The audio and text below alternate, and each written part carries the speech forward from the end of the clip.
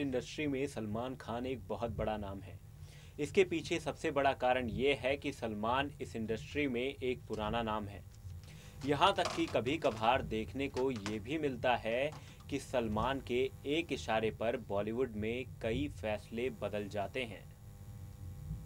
अगर आप सलमान को क्लोजली फॉलो करते हैं तो आप ये बात जानते ही होंगे कि सलमान खान को गुस्सा बहुत जल्दी आता है। जिसके चलते उनका कई सेलिब्रिटीज से पंगा भी हो जाता है। बाद में ये सेलिब्रिटीज सलमान खान से माफ़ी भी मांगते हुए नज़र आते हैं। उदाहरण के लिए विवेक ओबेरॉय और अरिजीत सिंह को ही देख लीजिए। आज भी सलमान खान का गुस्सा इन लोगों के लिए शांत नहीं हुआ है, लेकिन इस इंडस्ट्री में एक ऐसा भी शख्स है जिसने सलमान खान के साथ जानबूझकर पंगा लिया, लेकिन आज भी यह सेलिब्रिटी बॉलीवुड में पहले की तरह ही काम कर रहा है। और सलमान उनका आज तक कुछ नहीं बिगाड़ पाए। आगे आपको बताएँगे कौन है ये सेलिब्रिटी बने रहिए हमारे साथ। नमस्कार अमन त्रिपाठी के साथ आप देख रहे हैं हमारा चैनल नेक्स्ट नाइन न्यूज़ तो वाक्य तो आपको याद ही होगा जब एक अवार्ड फ़ंक्शन में सलमान और अरिजीत की तीखी नोक-झोंक हुई थी। सलमान ने अरिजीत पर उनकी पर्सनैलिटी को लेकर यह तंज कसा था कि सोते सोते क्यों आए हो भाई? जिस पर अरिजीत सिंह ने कहा था कि आप लोगों ने सुला दिया। उसके बाद का नतीजा आप जानते ही हैं कि आज तक सलमान की मूवी में अरिजीत ने कोई गाना नहीं गाया है। हालाँकि इससे अरिजीत के करियर पर कोई फ़र्क नहीं पड़ा है। वो मौजूदा दौर में बॉलीवुड के टॉप सिंगर हैं। आज भी इनके गाने अगर सलमान की मूवीज़ को छोड़ दें तो हर एक मूवी में सुनने को मिलते हैं। लेकिन अरिजीत को सलमान से माफ़ी मांगते हुए स्पॉट किया गया है। अगर आपने उस अवार्ड शो को ध्यान से देखा हो तो उसी अवार्ड शो में सलमान की एक और सेलिब्रिटी से काफ़ी तीखी गहमा गहमी हुई थी। अरिजीत सिंह के बाद मिथुन को तुम ही हो गाने के लिए बेस्ट लिरिसिस्ट का अवार्ड देने के लिए स्टेज पर इनवाइट किया गया था।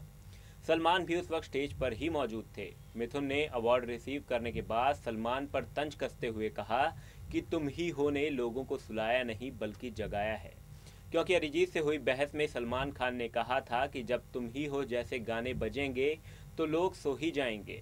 उसके बाद सलमान मिथुन से कहते हुए नज़र आए कि आपके सिंगर सोते हुए आए थे और सलमान मजाकिया ढंग में मिथुन के पैर छूते हुए नज़र आए थे। मिथुन जब अवार्ड लेकर जाने लगे तो उनकी पैंट पर उनके नाम का स्टिकर चिपका हुआ था। उसे हटाने के लिए सलमान आगे बढ़ने लगे, पर मिथुन को कुछ अजीब लग रहा था। सलमान ये कहने लगे कि अच्छाई करने जाओ तो अब मिथुन अपने पीछे लगा नाम स्टिकर हटाते हैं तो सलमान कहते हैं, तुम्हारे सिंगर ने चिपका दिया ये तुम्हारे पीछे। जिसके बाद मिथुन ने जवाब दिया कि आप लोग छः घंटे बिठा कर रखते हो, इसीलिए ऐसा होता है। जिस पर सलमान खान चिल्लाते हुए कहते हैं, वाह यार, सब दे ही रहे हैं। चलो निकलो यहाँ से।